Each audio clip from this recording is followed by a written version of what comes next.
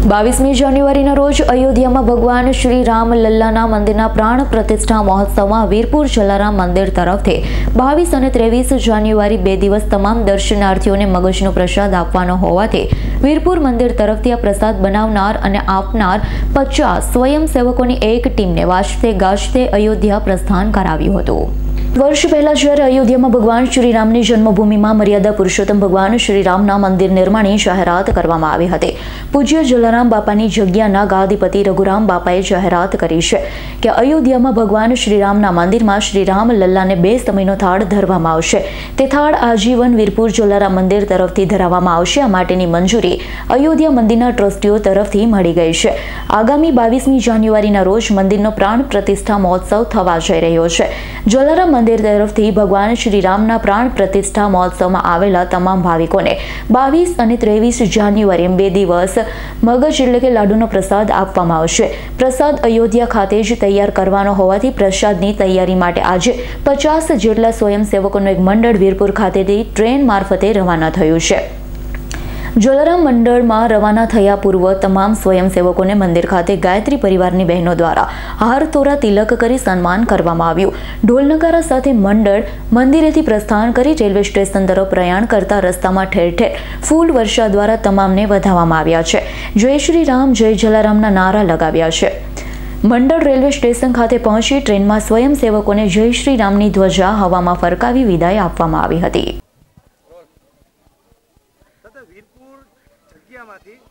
કેટલા સ્વયંસેવકો અયોધ્યા ખાતે સેવામાં જઈ રહ્યા છે અને ત્યાં શું શું સેવા કરવાની છે? વીરપુરથી આડત્રીસ સ્વયંસેવકો સેવા માટે બાકીના ચૌદ જણા જે રસોઈ બનાવે અને આ પ્રસાદ રાંધીને તૈયાર કરે એવા કુલ પચાસ માણસો અમે અહીંથી જવાના છીએ. બાકીનો પરિવાર જે કંઈ આવે આ બધા ત્યાં જઈ અને બાપાનો પ્રસાદ રસોઈ જે કંદો એમને રાંધીને આપે એનું પેકિંગ કરવાનું છે. પેકિંગ કરી અને બાવીસ અને ત્રેવીસ તારીખે આ પ્રસાદનું અમારે વિતરણ કરવાનું છે, બાપા તરફથી.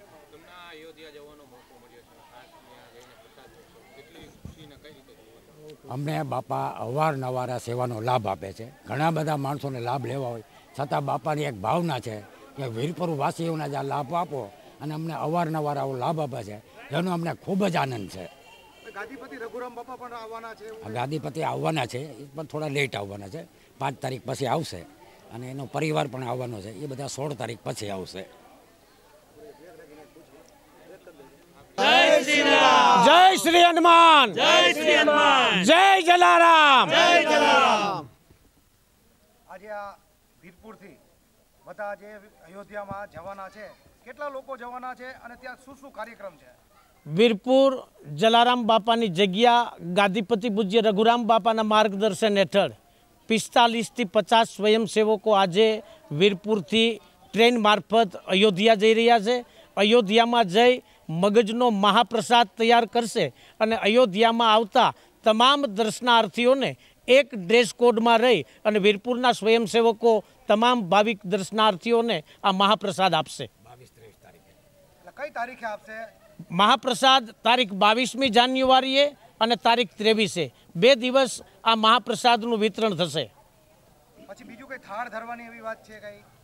પૂજ્ય રઘુરામ બાપાએ અયોધ્યાના ટ્રસ્ટીઓને જે પ્રસ્તાવના મૂકી હતી આજથી ત્રણ વર્ષ પહેલાં એ પ્રસ્તાવનો સ્વીકાર કર્યો છે એટલે વીરપુર જલારામ બાપાના પરિવાર વીરપુર જલારામ બાપાની જગ્યા તરફથી પૂજ્ય શ્રી રામલલાને બપોરે અને સાંજે રાજભોગનો જે થાળ છે, તે આ જીવન ધરાવવામાં આવશે અને વીરપુરવાસીઓ માટે એ ગૌરવ અને ઉત્સાહની વાત છે. Suresh ભાલિયાનો report S nine news Jetpur.